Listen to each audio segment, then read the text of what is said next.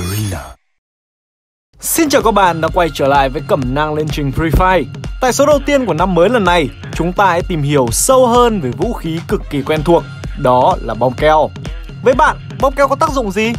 Và làm sao để sử dụng hiệu quả chúng? Cùng tôi khám phá cẩm nang lên trình của thầy giáo Hùng Cam và tham khảo những ý kiến của các tuyển thủ chuyên nghiệp ngay thế nào. một Cài nút và kỹ năng thao tác tay. Bong keo hiệu quả cả trong giao tranh, chủ động và né giao tranh. Để thành công qua những vòng bo với bong keo đầu tiên, bạn phải cài đặt nút ra bong keo ở vị trí phù hợp trên màn hình chơi. Các tuyển thủ cũng có cách đặt nút khác nhau đấy nha. Chúng ta sẽ có 3 cách đặt nút của các tuyển thủ như sau.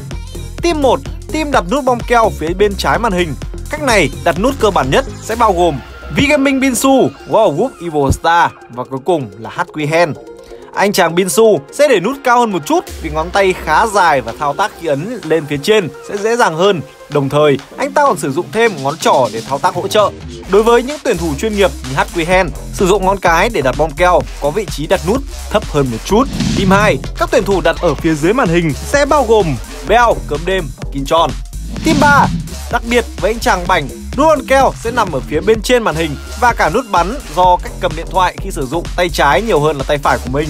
Về thao tác tay, hầu hết người chơi lẫn tuyển thủ sẽ sử dụng ngón cái và ngón trỏ. Nếu bạn có sở hữu một ngón tay dài như Binsu, tập làm quen sử dụng bom keo bằng ngón trỏ sẽ tiện lợi hơn rất nhiều. Và quan trọng nhất, luyện tập thật nhiều để quen với những thao tác tay của mình cho thật nhanh nhẹn nhá. 2. Tạo rào cản bằng bom keo nếu như tác dụng trước đây của bom keo là chắn sát thương của đối phương thì bom keo cũng có thể sử dụng linh hoạt để tạo rào chắn khi giao tranh. Có thể thấy rõ ràng nhất là việc chặn lối ra vào, cầu thang để kẻ địch khó khăn hơn khi tìm kiếm bạn hoặc kéo dài thời gian cứu đồng đội, hồi máu. Những tuyển thủ như NPC, Funky em cũng sử dụng tuyệt chiêu này cho các giải đấu họ tham gia. Đến cả những trận đấu leo rank cũng áp dụng kha khá thành công công việc này. 3. Hỗ trợ giao tranh Trong các game thi đấu, việc bản thân đứng ở cạnh địa hình khó khăn trong giao tranh là điều không thể tránh khỏi.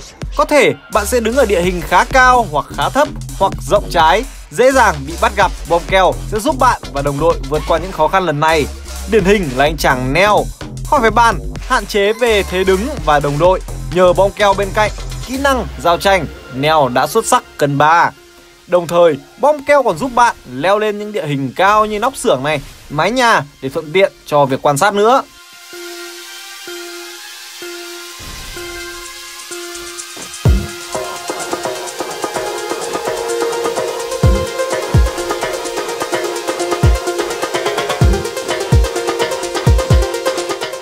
Nhưng việc tiêu thụ quá nhiều bom keo cùng lúc sẽ ảnh hưởng đến vòng bo quan trọng Nên hãy thông minh khi sử dụng số lượng bom keo của bạn nha Bên cạnh đó, mang theo trợ thủ chim cánh cụt cũng là một cách giúp bạn tăng số lượng bom keo qua mỗi vòng bò đấy nha. Một số pha giao tranh có sự thông minh như NPC sẽ sử dụng bom keo vừa cho phép bản thân mình an toàn mà để khoảng không phía trước để kết liễu đối phương luôn. Hay thông minh như anh chàng Artemis khi sử dụng bom keo để leo lên mái nhà hỗ trợ đồng đội chiến thắng giao tranh cuối cùng. 4. Chặn sát thương Chặn sát thương bằng 1 đến 2 bom keo là quá bình thường rồi. Để an toàn tuyệt đối, hãy luyện tập chặn bom keo xung quanh bản thân nha. Không chỉ khiến cho đối phương khó tiếp cận bằng súng mà cũng sẽ giảm thiểu sát thương từ bom và M79 đấy. Cách này sẽ khá tốn bom keo nên hãy sử dụng hiệu quả khi chơi solo hoặc khi team chỉ còn mình bạn cố gắng leo top đấy nha.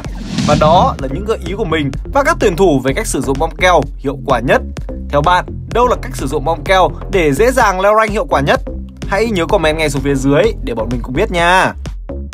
Vietbell Series Spring 2022 New Journey Đón xem, vòng bảng diễn ra từ ngày 7 đến ngày 9 tháng 1 2022